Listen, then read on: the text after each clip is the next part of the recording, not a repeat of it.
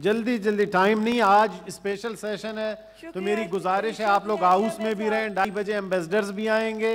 तो इसलिए मैंने पार्लिमानी लीडर्स को टाइम दिया है तो आप लोग बुरा ना मनाएँ। आज इंशाल्लाह फिर इस पे बातचीत करेंगे। सेशन दो तीन दिन बाद फिर भी होगी। बड़ी मेहरबानी। जी साहब वैसे भी जब हम तक पहुँचती है बात वो बहुत कम टाइम प्लीज़ जी ऑर्डर इन द हाउस जी जी सितारा आया साहिबा प्लीज़ शुक्रिया चेयरमैन साहब। चेयरमैन साहब मुझसे पहले जी जी प्लीज़ अब सुने जी सितारा साहिबा टाइम जाया ना करें जी। जी। जी मैं मैं जाया नहीं कर रही हूँ वो बात कह रहे हैं। चेयरमैन साहब मैं ज़्यादा टाइम नहीं लूँगी मुझसे पहले बहुत सारे लोगों ने इसकी डिटेल्स भी बता दी है। स्पीचेस भी हो गई हैं कल भी मीटिंग हुई। आज भी डिफरेंट प्रोग्राम्स चल रहे हैं कश्मीर के हवाले से। मैं सिर्फ़ चेयरमैन साहब ये कहूँगी कि सत्तर साल जो है तो कश्मीरी अपने हक के लिए लड़े हैं और आज भी लड़ रहे हैं। इनफैक्ट हम लोग, हमारी आर्मी हमारे सिविलियन भी श्रीनगर तक हम पहुँच चुके थे। अभी यहाँ पे सिराज साहब ने बात की। गॉड नोज़ के क्या हुआ और क्यों उनको वापस बुलाया गया। लेकिन ये एक हिस्ट्री है और अभी तक हमें पता नहीं चला कि एग्जैक्टली exactly क्या हुआ था।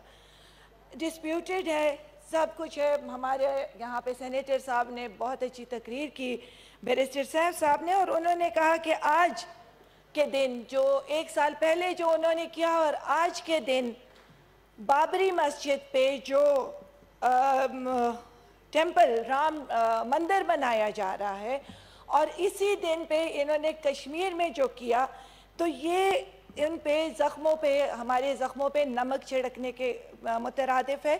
मैं ये कहूँगी कि नमक तो वहाँ छिड़का जाता है जहाँ ज़ख्म होते हैं, जहाँ ज़मीर होता है।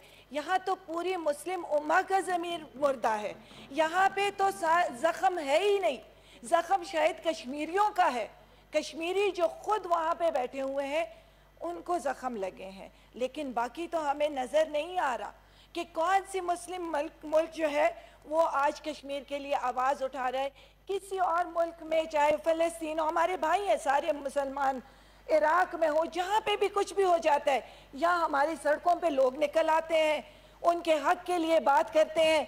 किसी एक साल में आप मुझे बता दें कि जनरल पब्लिक किसी मुसलमान मुल्क की निकली हो उनकी हुकूमतों को तो छोड़ें। वो कहते हैं कि जी हमारे वहाँ इंडिया के साथ इकतसादी ताल्लुक होगा उनका कोई बिज़नेस कुछ होगा।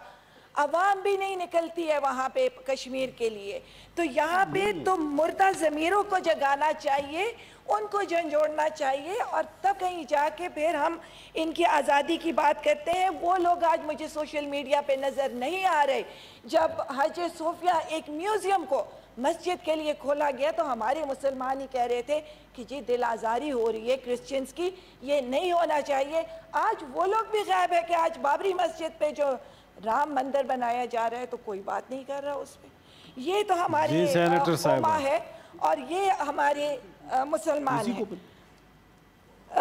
चेयरमैन साहब हमारे जो कश्मीरी है जैसे हम सबको पता है वो मजलूम है। जिस वक्त उनके जवान जब कश्मीरी परचम में शहीद होते हैं जब कश्मीरी वहाँ पे शहीद होते हैं और पाकिस्तानी परचम में उनको लपेट के दफनाया जाता है उनकी माएँ बहनें बेटियाँ जब शहीदों को रोती हैं और फिर भी पाकिस्तान जिंदाबाद का नारा लगाती हैं वो बच्चे जो पाकिस्तान को कश्मीर बनेगा पाकिस्तान का नारा लगा के गोलियाँ खा रहे होते हैं उस वक्त हम खुश होते हैं ठीक है हमारी हमारे जज्बात और हमारी कमिटमेंट्स मज़बूत होते हैं उसके साथ। लेकिन हमारे ज़मीर हमें मलामत भी करता है कि हम उनके लिए क्या कर रहे हैं। बहुत कुछ हमने किया भी है मैं ये नहीं कहूँगी कि हम नहीं कर रहे लेकिन there are more to be उस पर हमने बहुत सारी और चीज़ों को भी करना होगा और स्पेशली डिप्लोमेटिक फ्रंट पे हम बहुत कमज़ोर हैं। इंडिया बहुत हमसे आगे जा रहा है।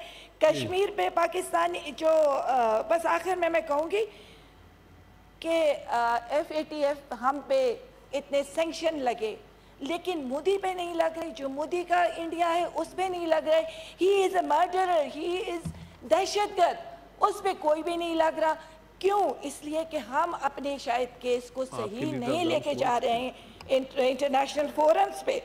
वहाँ पे जो आप आप बाकी मुल्कों में भी देखें तो सब कुछ लेकिन is doing whatever he wants to do no one is stopping him and he is free कल को वो रेफरेंडम भी कर लेगा कश्मीर के अंदर कश्मीर लीगली उसके पास चला जाएगा हम शायद कुछ भी ना कर सकें मैं जो नक्शे की बात थी ठीक है नक्शा ये हमारा पुराना नक्शा है ये हमारा था पता नहीं क्यों इसको हटा के फिर वो नक्शा बनाया आज ये नक्शा दोबारा आ गया है गुड लेकिन अगर हम वाकई कोई बोल्ड स्टेप लेना चाहते हैं और इंडिया को जवाब देना चाहते हैं तो आर्टिकल वन को चेंज करके कश्मीर को अपना हिस्सा बना लें। Thank you thank you senator Javed Abbasi ji P M L N Mohsin Aziz साहब तशरीफ़ रखें। आप